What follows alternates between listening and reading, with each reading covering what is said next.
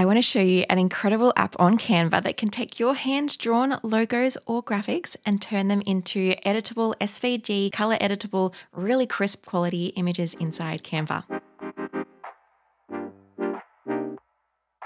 So, hi, if we haven't met before, my name is Jacqui, and I'm a graphic designer who loves teaching business owners how they can create their own incredible brand and graphics that help their businesses to actually thrive and be something that they're really proud of and love. And so, today's video is one that I've been teaching my students for a very long time inside my course, DIY Design My Biz. But I've been teaching them a workaround way because it actually wasn't possible inside Canva, but it is now possible in Canva, and I'm really excited to share it with you. This is particularly important if you are wanting to create your own logo. I've got a whole video on creating logos here, so I'm going to tag that. But the, in essence, we don't want to just use logos and graphics we find inside Canva unless it's just a basic shape because we don't own those graphics. We can never trademark them or copyright them. They're not ours to own. And so it's really great to own our logo. That's where drawing logos can come in. There's a heap of different ways I teach on how to create your own logo. But this is a really great one if you're wanting to do something that's slightly more hand drawn, you're wanting to do something that's really unique to you. I just want to point this out. I'm not a drawer. I cannot, I'm not, I, I have zero skills in drawing, yet this can still be something that we can use even for something quite simple because logos should be simple. We don't want them to be overcomplicated. And so I want to show you how you can get a drawing into Canva into being a really crisp, color changeable, a vector file right now. So let's do it. So you're going to need three things. Firstly, an mm-hmm. idea. Secondly, a blank piece of white paper. And thirdly, a mm-hmm. really great pen. Ideally, you're going to go doing like a really a thickish texture. So I've got three things to show you here. I've just got a basic pen here. It's nothing kind of fancy wait for it to focus. Do the whole YouTuber thing. This is just an just a normal kind of ballpoint pen. This is not ideal, but if it's all that you have, you can totally use that. But again, it's not perfect. Mm. You've also got just a plain old pencil here. Again, it's not even sharp. Having it not sharp is probably almost a better thing, but this could be good for just doing your sketches to begin with. Ideally, you'd have something a bit more like this one. Doesn't have to be anything exactly like this, but something similar where it's got a thicker end to it. So you can see here, this has just got a little bit of a thicker end to it, which means that my lines are going to be thicker. You'll see why this is important soon. I'll actually probably use both of them so you can see the difference. But in essence, we need at least this ideally, but whatever you have, ideally a dark color, um, we work best for this. As I said, you're also going to need an idea. So for your branding and for your logo, it's really great to have an idea. Think of something that's really conceptual, but also think of something that's actually not too complex and over convoluted and something that's going to look really great small and really great large because a logo needs to be versatile. If you're looking for help to do any of this kind of stuff, I actually have a program called the Co-Creation Design Club, and I'll actually be with you and we can create these things together. We can brainstorm together.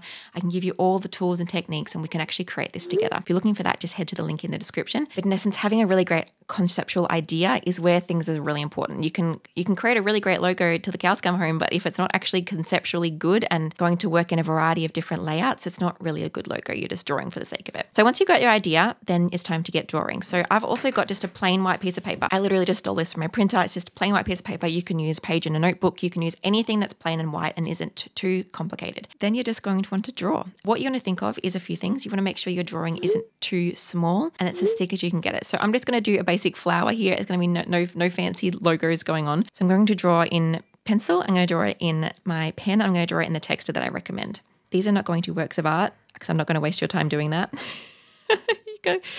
but it is going to be something that hopefully you can use as inspiration to see how you can make it work in your own business. Now, the way the one of the things I love about this is you can be as detailed as you like. Like you can be really neat and like you could use rulers and you could use measurements and you can make it really like neat and clean.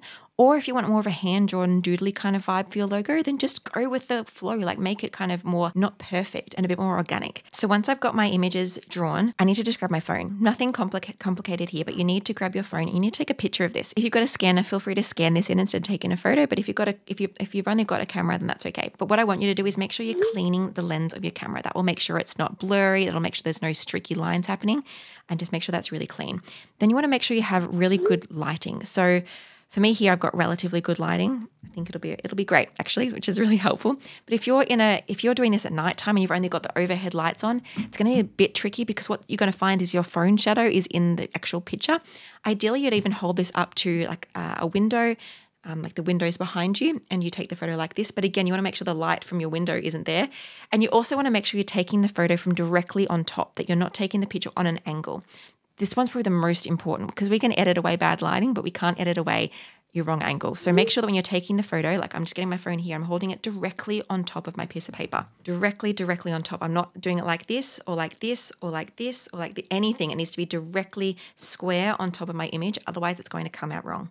if you've got an iPhone as well, it actually is a little. I'm going to actually record my screen so you can see this. There's a little there's a little um, cross on your screen that will let you know if you're directly on top. Right, so you can see here. If I move this around, that, that that's not lined up. Whereas if I learn this perfectly on top, that little X, the little plus is going to line up together. So I'm going to go over and take my photos of each one of my different things. All right, so once that's done, you want to send your images to your computer. So you, however you've done this. For me, I can airdrop it because I'm working with an iPhone and a Mac. If you've got, if you don't have that, you could just send an email to yourself. You could do however you get images from your phone to your computer. Do that now by emailing or using like a Dropbox or um, airdrop, anything of those is fine. So then once you've sent your photos to your computer, it's now time to open up a Canva design. So I've just pressed create a new design. I like to work on something that's not too small. The, the, the logo file that Canva recommends I find is too tiny. So instead I'm just going to go custom size anything from anything larger than 2000 pixels I, I, would recommend. So you can leave it at 2000 pixels or if you're an australian like me you might want to do like 20 centimeters. It doesn't really matter as long as it's not too small. So you've got some room to move. Because if we do a design that's too small, you'll find that when you like jut the image or jut some text or something, like especially when you're working on a logo, it jumps quite far because it's actually quite a small design. Whereas the larger it is, the more the more minute you can get with these changes. So I'm going to go into uploads and upload those images in. Um, so I'm just now going to insert each of those images into my screen, and you'll see the difference of the quality of each of these. And you see the photos aren't like incredible. This one here even has like my microphone shadow in it, but it, we should be able to make it work. So first, what I'm going to do, I'm actually going to put each of these on one page, to be honest. All right, so I'm going to show you the difference between each of these, but I'm going to do the best one first so that you can see how, what I'm actually aiming for. So I'm going to first crop this down. So you can use these little um, rectangular arrows to crop this down. We want to crop it to exactly where your actual image is because we don't need any of that extra space. Another cheats way to crop or another hack to cropping quicker is if you grab these candles, it actually just makes it bigger and smaller. But if you hold shift at the same time as holding that, it will crop. So I can do two edges at the same time. I'm going to make this a little bit larger. Now I need to edit it. I want to edit it just so it's as crisp as possible. So I'm going to click on the edit button, go to adjust, and you want to just edit a few of these settings. So if your image is a little bit dark, like you can tell, like this is a picture of white paper, but the white isn't white. So I'm going to lift up the brightness. I drag this up, you'll see that it's getting close to the background color. You can also see that it's a little bit pink. I want to also take down the saturation. So because with this, this is a good thing to note. The best results that you're going to have is by with is with a one color design. Keeping it one color, keeping it really clean. This is actually really good for a logo design because with logos, if they're one color, they're going to be far more versatile for you to use. So keeping this one color, like you don't want to color in this design, you want to keep it black, crisp, clean, thick, beautiful lines. So I'm going to bring down the saturation here under color just to get rid of um, that pink tone, just to make sure it's as clean as I possibly can have it. I might see if I want to fiddle with the highlights here. Yep, highlights will bring that up. So just fiddle with a, lot, few of these. Sometimes contrast will help, sometimes shadows will help. Just fiddle with these, sometimes whites will help and see how you can get the closest. But you can see this here, it looks really crisp and clean already. So now it's ready to vectorize. So you want to go to apps, which is over on this left panel here. For me right now, this is a featured app, but if you can't see it, just type Tracer into your app search. This one here, this purple one with it's it's the pen tool that we usually, usually use on Illustrator if you're Adobe an, an Adobe person. So if I click on this and I've already got this image selected inside my artboard, so before I can press trace, I want to make sure that Canva knows that I only want to trace this cropped down image. So what I'm going to do is insert a rectangle. I'm just pressing R on my mm-hmm. keyboard to insert a rectangle. I'm just going to make sure this is smaller than my design. I'm going to click on the color and make this color into no color.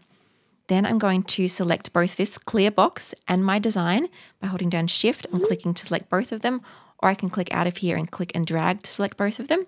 I'm then going to right click and press download selection. I can just pretty much leave this as is. That's totally fine. I could make this large if I wanted to for Canva Pro users, but I'm just going to press download. So what happens if I don't crop this image down and save it like that? You'll see that it's actually picked up the other part of the image. So it's picked up the whole image here. And we want this to be as close and as cropped to the actual icon as possible.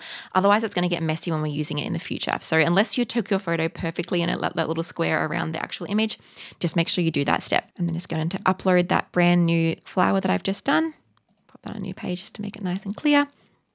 And then I'm going to go back to my apps and find my Tracer app. And then you can see here, I can either press choose file if I don't have one selected, or if I have one selected, I can press trace selected image. So I'm going to press trace selected image, and it's going to just perfectly trace that image. I can change this threshold here, um, which kind of just means how, how it picks things up. So you can see if I bring it down, it does it picks up less of the ink, less of the black. If I bring it all the way up, it's going to pick up probably too much of the black Actually, it's not too bad because it's quite a crisp image. There we go, it's gone too far. So usually right towards the end here is where you'll want it, but it will depend on the quality of the image you've got. When I'm happy, I'm going to press add to design. And you can see here, if I just delete my original photo, when I click on this, if I zoom all the way in, this is super duper clear, super duper crisp and clear. Whereas if I zoom into this one, you can see that it is absolutely not that. It is also fully color changeable. I can change this into my brand purple. Plus, it is also totally transparent. So if I click on the change this color background, it's totally transparent as well. So that is a really, really robust way to create your logo file. So I want to show you how to do it if you've got slightly less quality images.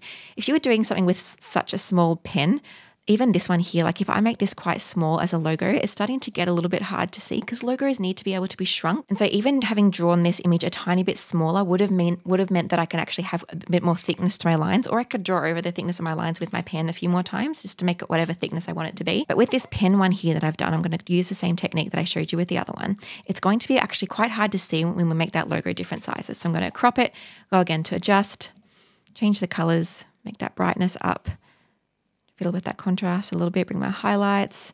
You can see that my lines are getting a little bit grey. I want to try to bring them back to being black as thick as I can. I'm going to play with the shadows here. See when I play with the shadows, it makes my lines blacker. I'm going to do that. Maybe this one too. I'm going to bring it up this way. Pretty much I just fiddle with these until they're looking good. So this is actually looking quite nice. Now that I'm happy, you can see there's actually this little this little accident I've done here. To fix that, I'm actually just going to insert a rectangle. I just pressed R on my keyboard to do that. I can insert a circle, anything. Oh, I'm just going to put a white box on top of this to make sure you can't see it. And there, I've got that that fixed up. What I'm going to do now is do my hack that I showed you earlier of grabbing my rectangle, making this clear, downloading all these parts together as a selection. The reason I have to do this to get to just because I can't just click on this image here and right click and press download. There's no download selection button because there's not a selection selected. I'm going to just download, select all of those so I have that download selection. So that adding that clear rectangle is just my hack to make sure I can do that. So now I inserted that image onto a new page. I'm going to now go back to the Tracer app, trace selected image, and again, I can play with the threshold, but right there is pretty good. Press add to design and it's going to add that to my design. I'm going to delete my original. And you can see again, I've got a really beautiful crisp image that I can change the color of so, so easily. Just like that. And I could then use this as a base of a logo. Like I could then say, oh, I actually want to have a circle behind here. I could make this like an orange color if I wanted to. This looks, this is horrible color contrast, but let's, let's just fix that up because I can't, I can't deal. let's make this a darker color. And then I could make this a little bit larger, have a little bit off center if I wanted to. And then I've got this cute little, this isn't great, but you get the idea of what you could do with it if you wanted to. I could then go on to add text in here. I could do like flower club. And again, you want to make sure your text is nice and large so it's visible.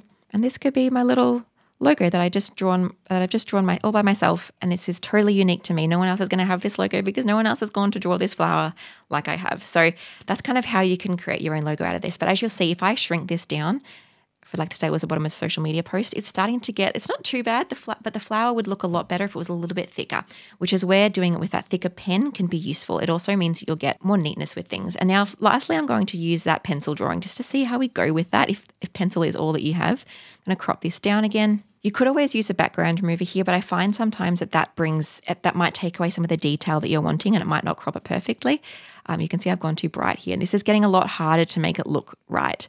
Going to go and take away my contrast, make my saturation, lift up my whites. When I lift up my whites, my blacks start to go. So sometimes the best you might get is this because I don't want to take away any of the, the black detail. So I'm going to try with this. It's, I'm not super happy with it, but we'll see how it goes. All right, so now I'm going to trace this image and see what we get. This is probably where we're going to have to play with the threshold a little bit because this is a threshold I was using for the others, but as you can see, it's all black. If I drag this down a little bit, we'll see if it goes any better. So you can see now it's okay, but we're still collecting this stuff up here because it's like, this is kind of dark. Bring it down even more.